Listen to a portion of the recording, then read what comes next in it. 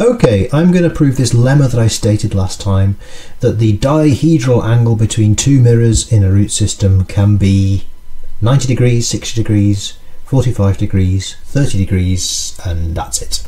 No other possibilities. So, what do I mean by the angle between two mirrors? Right, in here's I've, here's an example where I've drawn two red mirrors, and uh, am I talking about this angle or this angle between them. I'm talking about the smaller angle, right? Because two mirrors at 60 degrees also form a 120 degree angle. I'm, I'm really talking about the, the, the smaller of the two angles. And how would I actually calculate the angle between two mirrors? You know, in higher dimensions, these mirrors are hyperplanes, so they're you know, very high dimensional objects.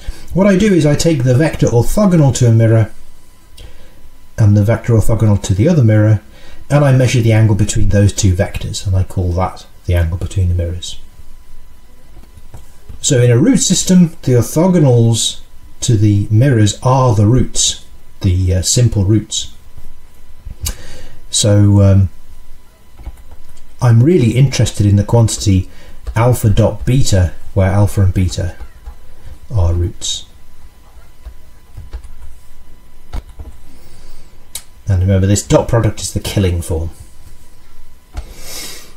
Well, what I'm going to use for the proof is um, this property that we had that said if you take one root uh, beta and you project it orthogonally onto the line through the root alpha, what you get is a half n alpha beta times alpha, where n alpha beta is an integer. This turns out to be a very restrictive criterion. Um, so just an example, we've already seen some examples, but let me remind you, um, you know, this is part of the SU2, uh, sorry, SU3 root system. Um, here's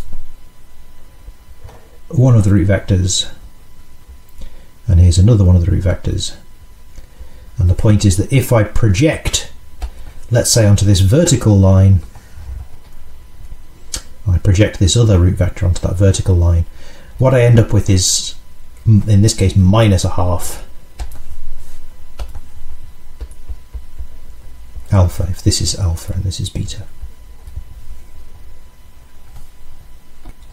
Right, so I'm always going to end up with a half integer multiple of the root. So what is the projection of beta to the line through alpha? Oh, I can just calculate it using Euclidean geometry. It's uh, alpha dot beta over alpha dot alpha times alpha. In other words, it's a rescaling of alpha by alpha dot beta over alpha dot alpha.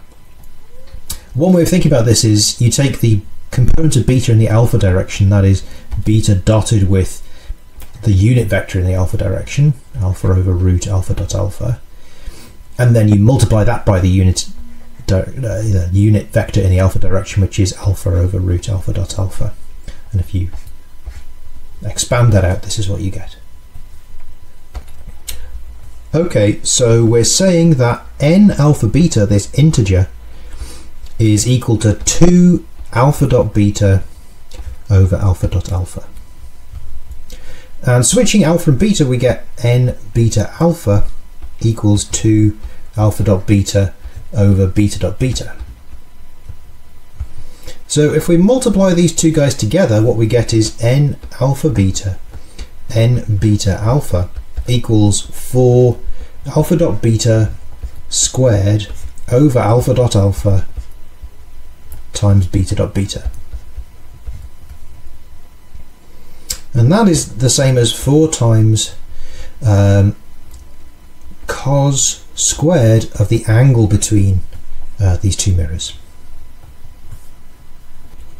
That's because of this usual formula that alpha dot beta is the length of alpha times the length of beta times cos of the angle between them. If you square this formula, uh, you see what you get is uh, alpha dot beta squared and then divided by alpha dot alpha divided by beta dot beta will give you cos squared of the angle. Okay, but cos is a bounded function. Cos of phi is at least minus 1 and it's at most 1 and it's equal to 1 or minus 1 if and only if the two mirrors or the two vectors are collinear. So if the it's equal to 1 or minus 1 if and only if the mirrors are the same. And we're not interested in looking at the angle between a mirror and itself, we're interested in looking at the angle between two different mirrors.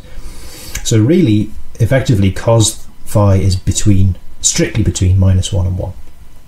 So 4 cos squared phi is, well, it's between uh, 0 and 4. And it could be 0, but it can't be 4. And it's also an integer because it's a product of integers, right? n alpha beta and n beta alpha are both integers. Their product is an integer. And how many integers are there between 0 and 4, not including 4?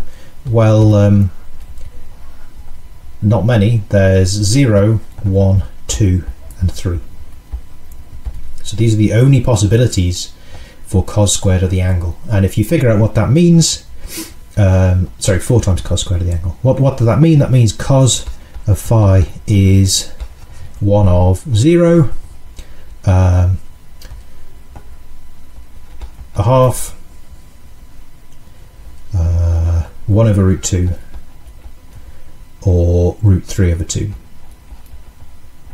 And these will give you the angles 90 degrees, 60 degrees, 45 degrees, and 30 degrees respectively. So that proves the lemma.